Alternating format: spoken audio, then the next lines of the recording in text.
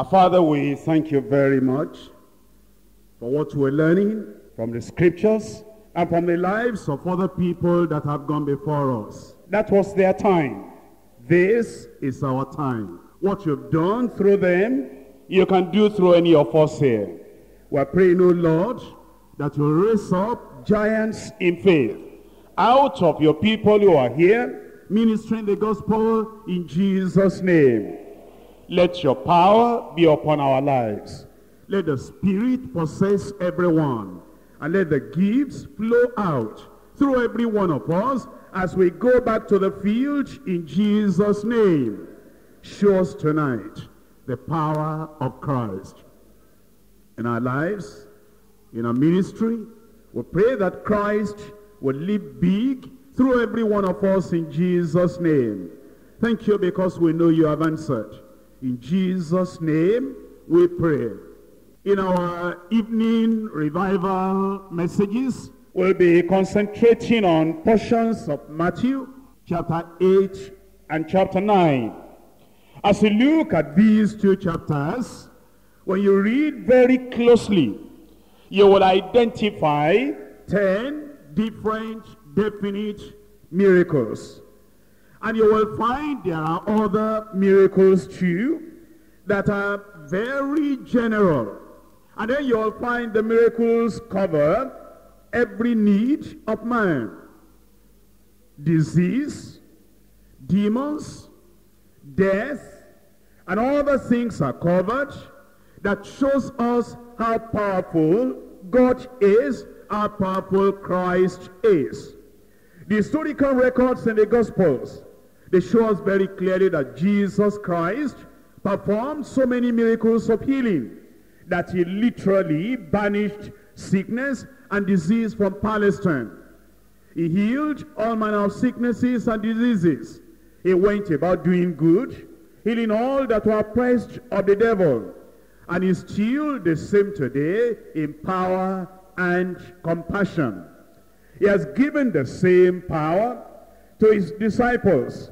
And he has more disciples today than he had during his earthly ministry.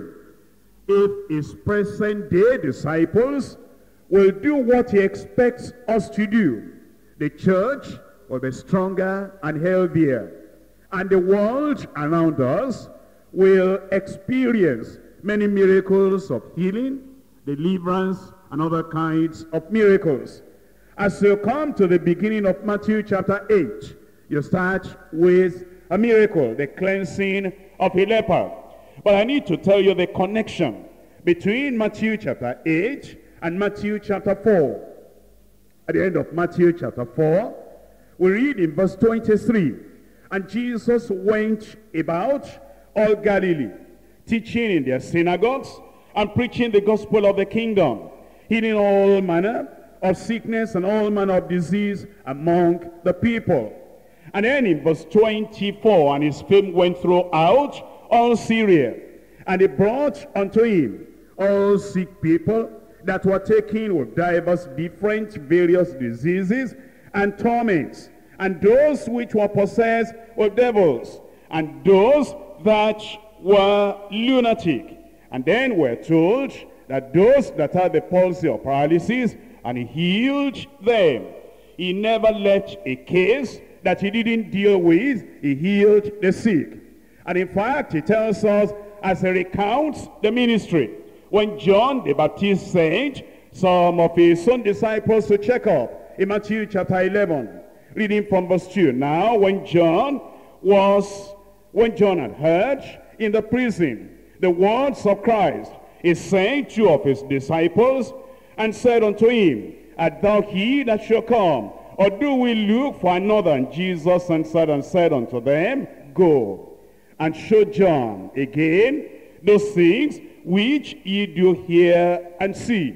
What were they seeing? What were they hearing? Here we have in verse 5, the blind receive their sight, the lame walk, the lepers are cleansed, and the deaf hear, the dead are raised up, and the poor have the gospel preached unto them. And blessed is he whosoever shall not be offended in me. Tonight we are taking verses 1 to 17. And I'm dividing that into three parts. Number one, the power of Christ over an incurable disease. Number two, perfect cure for an incapacitating disease.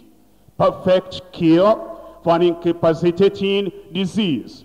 Number three, personal consolation and healing of innumerable diseases. Personal consolation and healing of innumerable diseases. Let's come back to chapter 8, verse 1.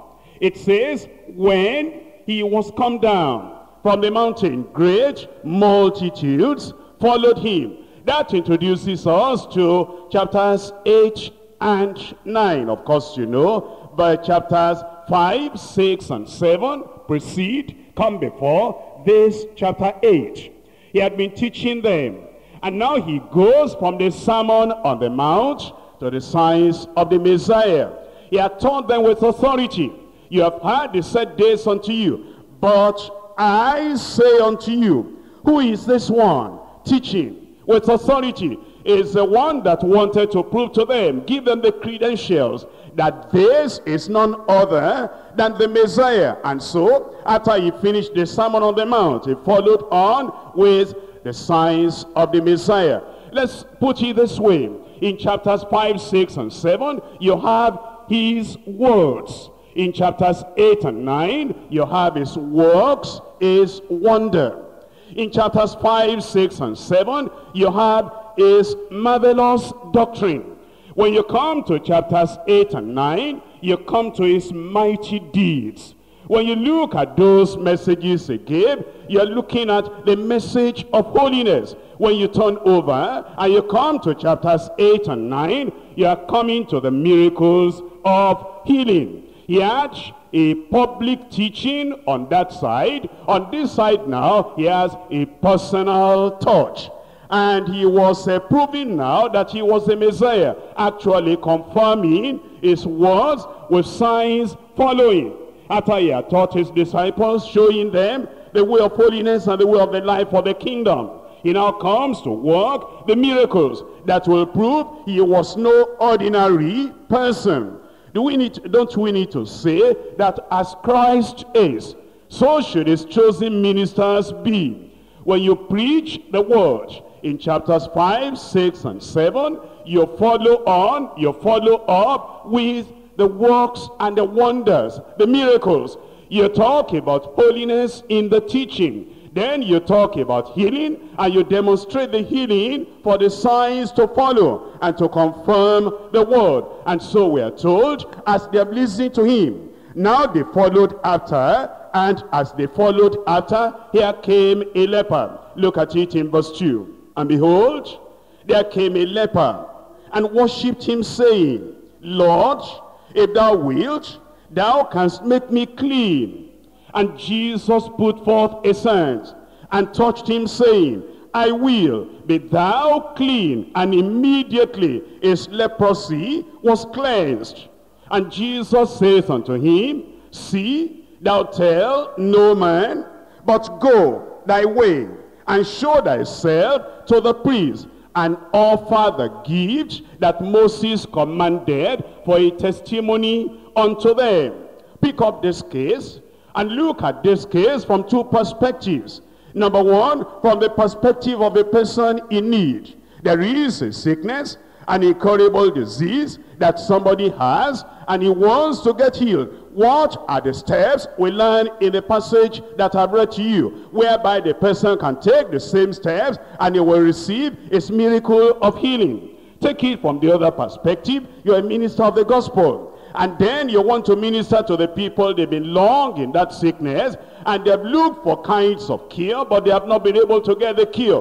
What are the things you are expecting? the patient or the person to manifest so that the power of Christ will be manifested in their lives. Before I go into the details, I need to remind you that leprosy was an incurable disease in Israel. In fact, you can count the people that had leprosy that were healed. You remember Miriam? Then you remember Naaman And then in the Old Testament, you do not find other cases of cleansing and healing. But then you come to the New Testament and you find that Jesus Christ, after he had delivered the message, now to show the credentials of the Messiah, he did something that had not been done for thousands of years. And the leper came forward, and the leper worshipped him, and the leper said, if you will, if you want to, you can make me clean. And leprosy was such a serious sin. It separated the people, that is, the lepers, from the congregation. That's why the Bible likens leprosy to sin. In fact, there is a, there are striking similarities between said leprosy and sin. Number one, both are unclean and defiling. When somebody has leprosy, it's unclean is defiled. When somebody is a sinner, he has not met the Lord, is unclean, is defiled. Number two, leprosy separates from God's people. They will put them outside the camp, and then if they were coming on the way, so that nobody will come near them, they'll be saying, unclean, unclean. And what does sin do? Sin makes us outcast from the Lord. Number three, both of them, leprosy and sin, they begin imperceptibly. But then eventually the hands are off, the legs are off. It brings deformity. Isn't that the same with sin? Sin will begin in an imperceptible manner. And before you know what, the man is deformed and defiled. Not only that, leprosy is contagious. That means interaction spreads leprosy. When you think about sin, association spreads sin. And then we know that there was nobody that could handle the problem of leprosy. Only Jesus Christ. That means no help, no hope of cleansing in man. And when you think about sin, the same thing. Only Jesus Christ could deal with leprosy. And only Jesus Christ can deal with leprosy, uh, with sin. Now, I look at this man. And then what did this man do? And you are thinking, what am I going to do? If I'm going to have the healing virtue of Christ flow into my body and do that thing that others have not been able to do. Number one, an act of worship. An act of worship. Behold, there came a leper and he worshipped him. That's the first thing. You are thinking about the Lord you're exalting the Lord. He inhabits the praises of his children. When that act of worship is there, you are not blaming the Lord for your sickness. You are not blaming the Lord for your disease. You are not blaming the Lord for your predicament. You see him as the King of kings and the Lord of lords. And whatever may be happening to you, you know that he has power. He has compassion. He is able to do all things. Number one, an act of worship this leper came and then uh, he worshiped the Lord. And true worship will activate the power of God on our behalf. You try it. If you have any problem, you sing unto the Lord. You praise the Lord. You remember Jehoshaphat. You remember Paul and Silas. They sang praises to the Lord. And as they were worshiping the Lord, their yokes were broken. Number two, acceptance of his will. The man came, he said, Lord, he owned him, Lord, he said, I submit. I gladly take whatever decision you make on me. And uh, here we have acceptance of his will. He said, if thou wilt, thou canst make me clean. Maybe he wasn't sure of what the will of the Lord will be because he had not known uh, the, the, mind of the Lord and the Lord had not proved too many things uh, to the people of Israel. Not only that, he was a leper far removed away from the people. But he said, whatever the will is, here I am. I am submitting to your will. We know better. You know the will of God from the promises of the Lord. You know the will of God from the illustrations of what the Lord has done. He's healed other people. He never rejected anyone. And Jesus Christ the same yesterday, today, and forever. Number three, the assurance of his willingness. I will. He said, the leper said, I'm not sure you want to. I'm not sure if you want to. But he said, if thou wilt, thou canst make me clean. And Jesus did not beat about the bush, about the leper, or about any other one. Assurance of his willingness. And today he's still willing. If you're sick, he's willing to heal you tonight. I said he's willing to heal you tonight. If sickness is in the family anywhere and you are coming to the Lord, he will assure you of his willingness to heal you tonight. Number four, attestation of his wonder. Now immediately Jesus stretched forth his hand and he touched him. And then he said, I will be thou cleansed. And the Bible says at the end of verse 3, and immediately his leprosy was cleansed. And then it said, Jesus says unto him, See, thou tell no man. Many people stumble on that part of verse 4.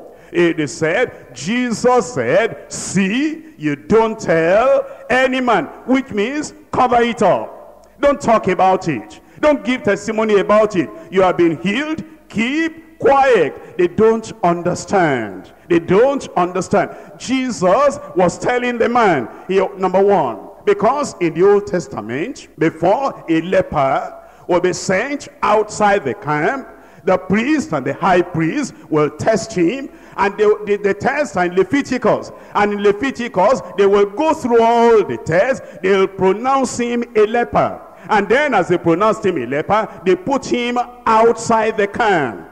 And he couldn't come back, according to the Old Testament, in Leviticus, without his going back to those priests and telling them, I am healed. And they will not just take that, they will examine him again. And all the tests are there for them to carry out. And when they see that he passed the test and everything is now okay, they will release him back to the society. And Jesus is saying, yes, I heal, but I don't support lawlessness.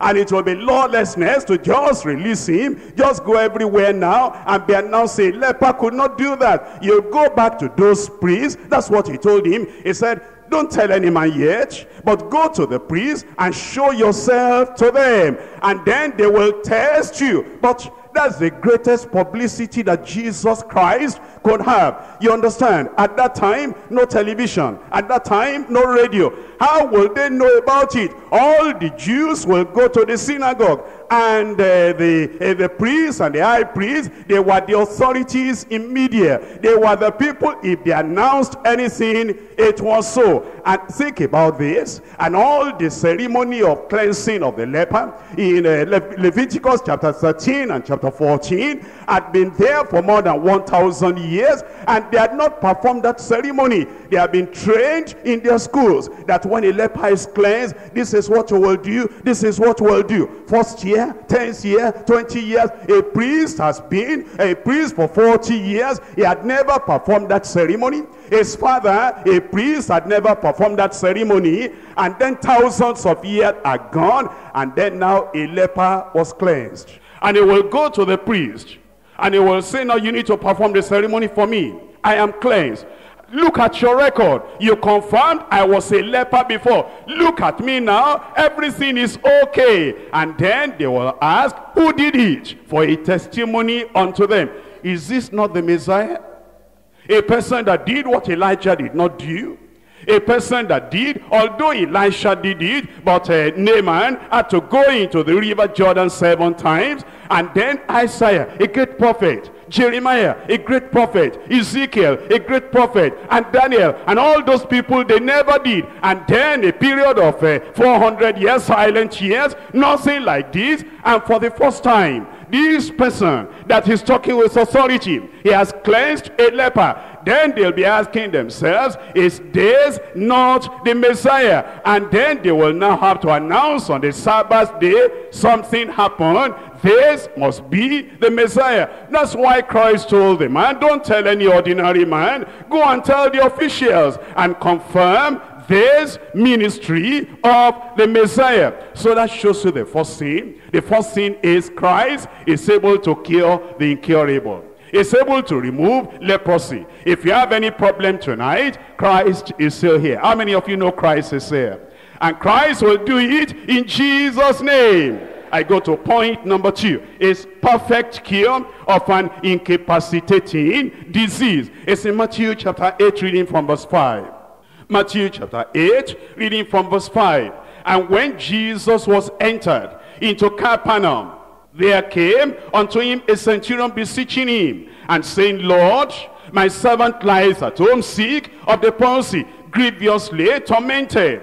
And uh, Jesus said unto him, I will come and heal him. The centurion answered and said, Lord, I'm not worthy that thou shouldest come under my roof, but speak the word only, and my servant shall be healed. What a wonderful thing. See, Jesus Christ had not spent too long a time with the people. When you think of the time that Jesus started his ministry in Matthew chapter 4, and then Matthew chapters 5, 6, and 7, is just a straightforward single message that he gave in one single day. And now he came to chapter 8, and there's a Gentile, a centurion. By the way, whenever you meet a centurion in the New Testament, they appear to be people that love the Lord. Do you see the man here, a centurion. And you remember Acts of the Apostles chapter 10? Another centurion, a devout man unto the Lord. But come back now. We're talking about this particular centurion. And uh, the faith he had, the confidence he had.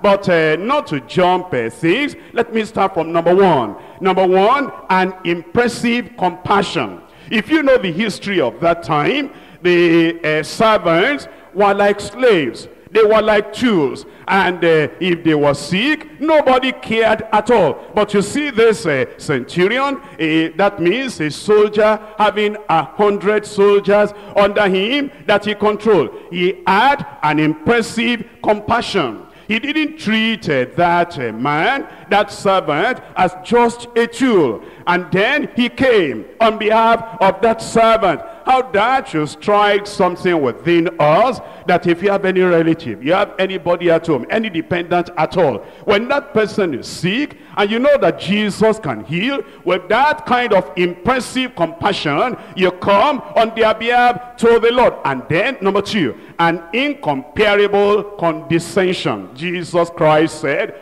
I will come and heal him.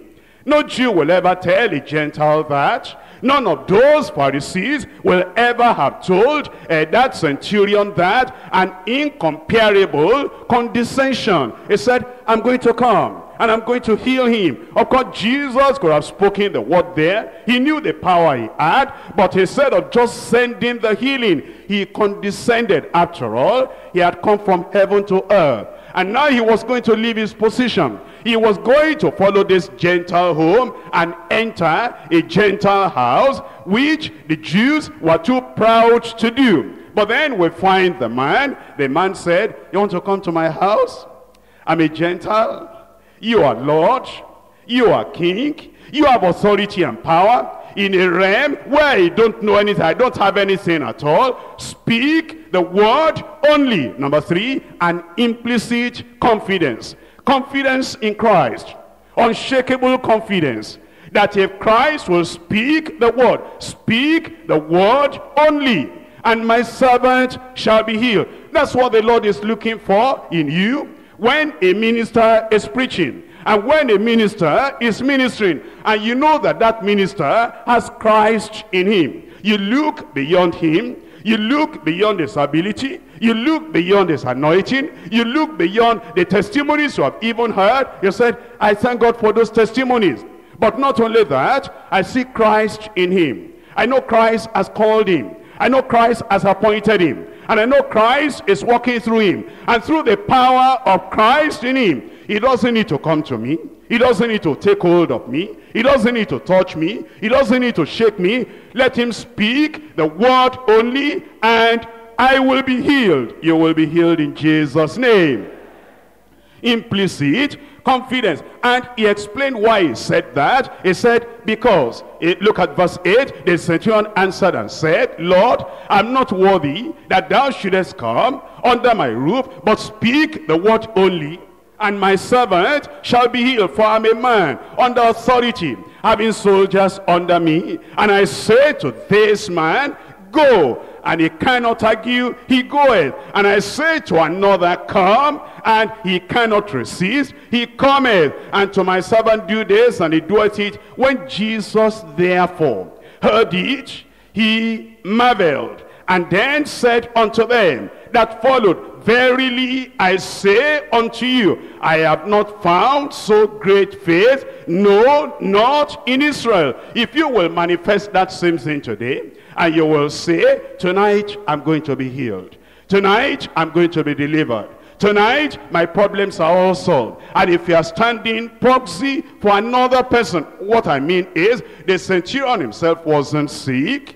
And the man that was sick was not even there with the centurion. It's just like you now. Here you are. And maybe you are not sick, but there is somebody far back at home, like the, like the centurion servant. And the fellow is sick over there, and you are saying over here that Jesus is here. Am I right? The power of the Lord is flowing here tonight. Am I right? Speak the word only. Mother at home will be healed. Daddy at home will be healed. My wife at home will be healed. My husband at home will be healed. That child that they said she will never grow out of that sin, the sin will be there until she lives a miserable life and eventually dies. Tonight we take authority over that sin. And that child at home will be healed in Jesus' name.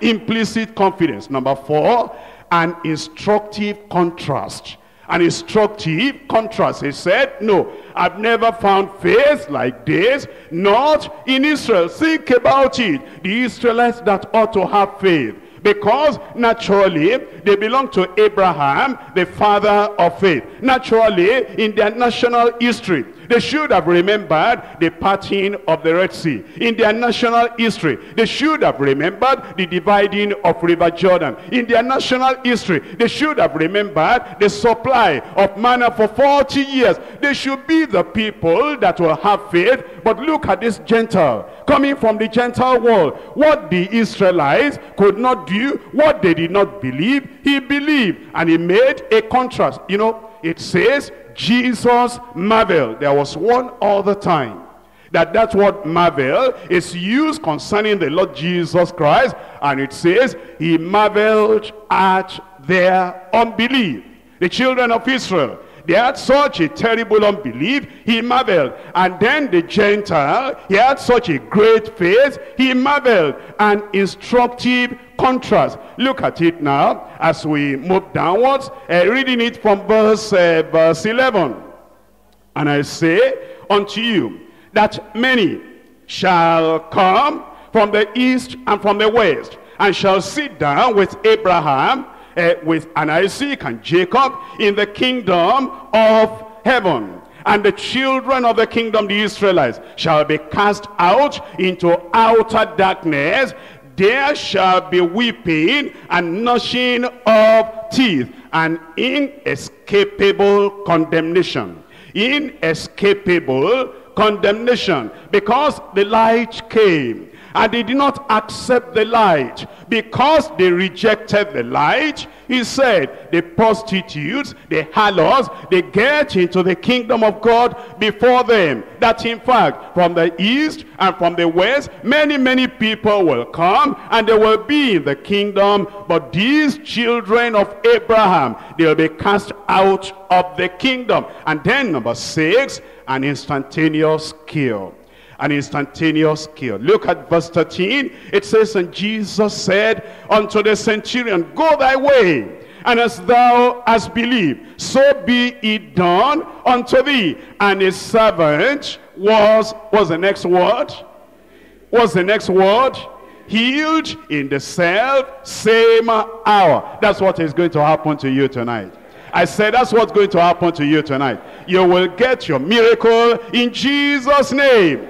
Now we're learned about the centurion. Although the sick fellow was away, far back at home, he came. And then as he came, he said, I want to collect the healing. Are you sick yourself? No, I'm not sick. How about the person that you want to get healed? No, he's not here. How will you know when the fellow is healed? You don't know by the feeling of his body. You know it by the envelope of faith. He said, I have an envelope here put it inside here. And it's not a physical thing. It's not a tangible material thing. It's a word of power, the word of authority. My faith will collect it in the envelope and then I'm going to get back home. It is not what he feels at home. It is not the symptom of his body at home. We do not consider his body almost now dead, all now, almost now being tormented, but we consider the word of him that cannot lie.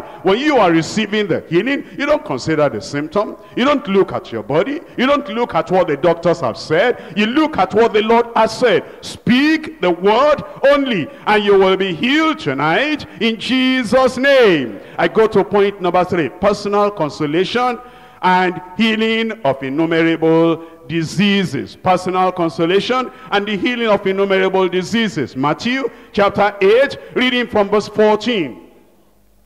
And when Jesus was come into Peter's house, he said unto uh, unto his wife, he says, he saw his wife's mother lay laid and sick of a fever. And Jesus touched her and the fever left her, and she arose and ministered unto them. Do you see that personal touch there? And the Lord is here tonight, he will touch you like that whatever the sickness is. Eh, you know something about Jesus Christ. If it is fever, Jesus will not say, well, endure that. It's not a serious matter. It's fever after all. It comes once in a while. Eh, you can hold on to that. But if it's blindness, a very serious thing, I will see how to handle that. Whether it's blindness or paralysis or deformity or leprosy or just ordinary fever, ordinary malaria. The Lord will touch that patient and you will be healed in Jesus' name. And then we find the healing of innumerable diseases, reading now from verse 16. And when the evening was come, they brought unto him many that were possessed with devils, and he cast out the spirits with his word. And he healed all that were sick, that it might be fulfilled, which was spoken by Isaiah the prophet, saying, Himself took our infirmities and bare our sicknesses himself took our, are you part of that hour? I said, are you part of that group? It says he took our infirmities and then he took our sicknesses. Has he taken your sicknesses? Has he taken your deformity? Has he taken your problem away? Why is, what's the thing finding in your body then? That thing is a stranger there. He ought not to be there. And Christ is here tonight. He will send that thing out of your body and of your family in Jesus' name. Just two things to notice there. Number one, he ministered in the fullness of power. Jesus went about, and then we're told he had the Holy Ghost and power with him. He had the Spirit beyond, above measure. Number one, he ministered in the fullness of power. Number two, he ministered for the fulfillment of prophecy that it might be fulfilled, which was spoken by Isaiah the prophet himself, not another one. Himself took our infirmities and he bore our sicknesses. And tonight is here. I said tonight is here. And tonight is going about in all the halls and outside, doing good and healing all that are pressed of the devil. He will touch you. Rise up and get the touch of the Lord. Tell the Lord, what's the problem there? What's the infirmity there? You tell the Lord, touch me tonight because Christ is going about in the fullness of power for the fulfillment of prophecy and whatever problem is there, the Lord will take everything away. Open your mouth and talk to the Lord. You are a child of God. You are a minister of the gospel. No infirmity, no sickness has any right to be there. Don't look at your body, look at your God. Don't look at the feeling in the body, look at the faith you have in Christ. Implicit confidence and faith in the Lord. See that centurion, he wasn't even a disciple yet. And he wasn't a worker, he wasn't a minister. You have claim and you have right to the healing strength and healing virtue of the Lord. And Jesus has not changed. The same yesterday, today, and forever is there with you, my brother. Is there with you, my sister. Believe it. Believe it with that implicit confidence and faith and trust in the Lord, and you are free.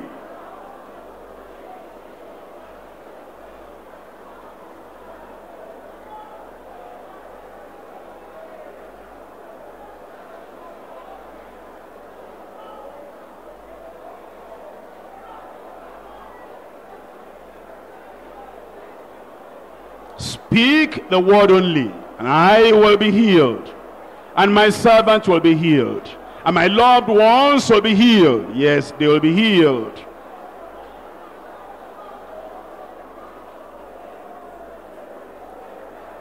In Jesus' name we pray.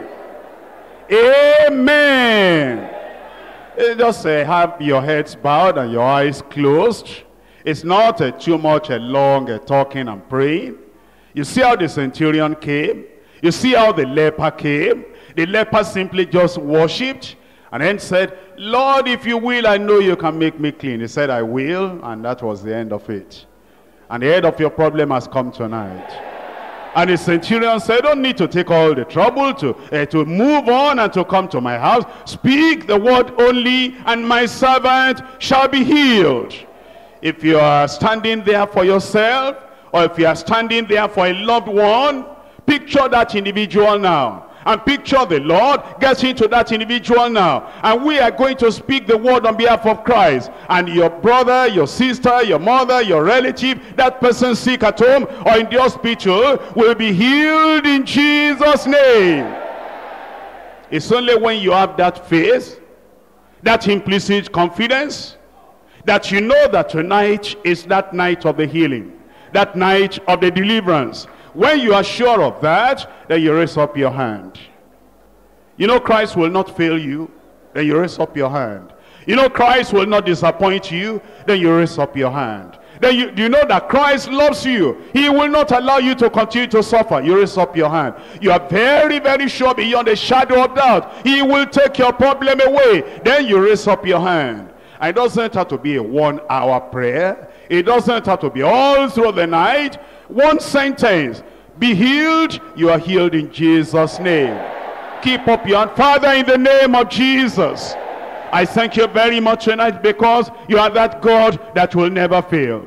And we know that Jesus Christ, our Lord and Savior, is here tonight. And he's here so that he can heal, so that he can deliver. Oh Lord, I pray for all my brothers, all my sisters. Touch them, heal them in Jesus' name. Their bodies are the temple of the Holy Ghost. They are the temples of God. And sickness, infirmity, deformity, or whatever it is, even spirit, it, they do not have any right to be there. Therefore, I command sickness, infirmity, or tormenting spirit, come out in Jesus' name. When we mention that name, no sickness can remain. When we mention that name, no evil power can remain. When we mention that name, no curse, no yoke can remain. I break every yoke. I destroy the works of the devil. I pronounce you healed in Jesus' name. Lord, I pray that you touch them. And I pray that you manifest your power. That the healing will be definite in their bodies right now in Jesus' name. I pray for their loved ones at home. Maybe a wife, maybe an husband, maybe a child, maybe a parent, or just a close relative. Somebody they are concerned about. I pray, oh Lord, where they are now, touch them with your miracle healing power in Jesus' name. By the time my brothers and sisters go back home, I pray, oh Lord, they will see that loved one healed, made whole in Jesus' name. Confirm that miracle. Confirm it in my brothers and sisters here. Confirm it in the loved ones at home. Do it and make it permanent, oh Lord. I pray, oh Lord, that whatever special thing, special miracle that your people are asking you, do it for them, Lord. Confirm it in their lives, oh Lord. Confirm it in their ministry too. And I pray that you give them the power. You give them the authority that when they too, when they pray for the sick, and when they pray with anointing, with authority, the sick will be healed in Jesus' name. Thank you, Lord, because I know you have answered. In Jesus' mighty name we pray. Amen. How many of you are sure you have still got it? You've got the victory. Just praise the Lord. The victory will remain permanent in Jesus'